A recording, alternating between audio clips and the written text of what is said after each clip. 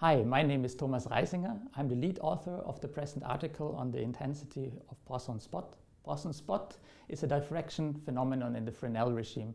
It's one of the classical optics experiments in which one observes a positive on-axis interference spot in the shadow cast by a circular disk or a spherical object.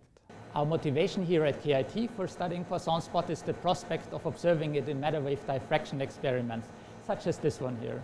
For that purpose, we prepare beams of neutral low energy molecules and clusters in ultra high vacuum and use spherical submicron particles to cast shadows. The problem of predicting the intensity of Poisson spot is of course well understood and was solved a long time ago. This is usually done by numerical solution of the Fresnel-Kirchhoff integral.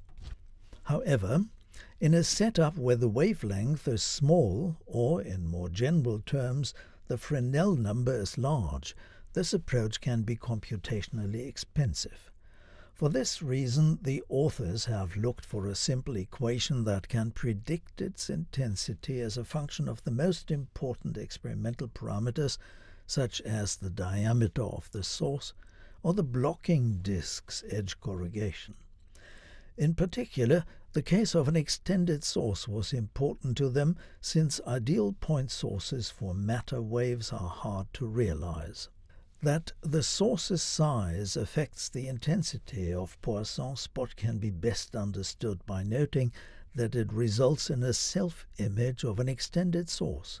In other words, if the source, for example, takes the shape of KIT's logo, this will result in an image of the logo in the shadow.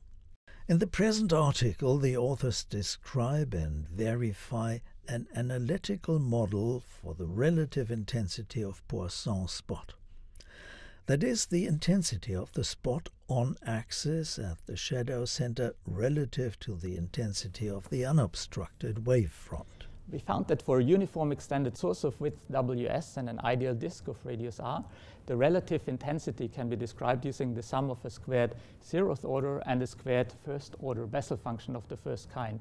Lambda is the wavelength here, and g the distance between the source and the disk. Furthermore, we show that the reduction in intensity due to disk edge corrugation and any support bars keeping the disk in place can be modeled by two additional factors. The authors verify this analytical model using numerical simulation of the Fresnel-Kirchhoff integral and light diffraction experiments. In the experiments, the relative intensity of Poisson spot is measured with a CMOS camera as a function of source and detector distance. As diffraction obstacles, the researchers used laser-cut stainless steel discs varying in diameter edge corrugation, and support structure. The source was made from light-emitting devices of three different colors and the source's size determined by pinholes of different diameters. The model and knowing about its limitations is extremely valuable considering our final aim.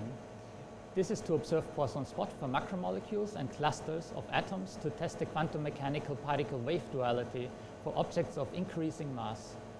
This has the potential to help us answer a very fundamental problem, namely if the sometimes counterintuitive results of quantum theory apply to our macroscopist realist world in unaltered form. In particular, we are motivated by the tantalizing question if viruses or even tennis balls can be prepared in superpositions of macroscopically distinct states.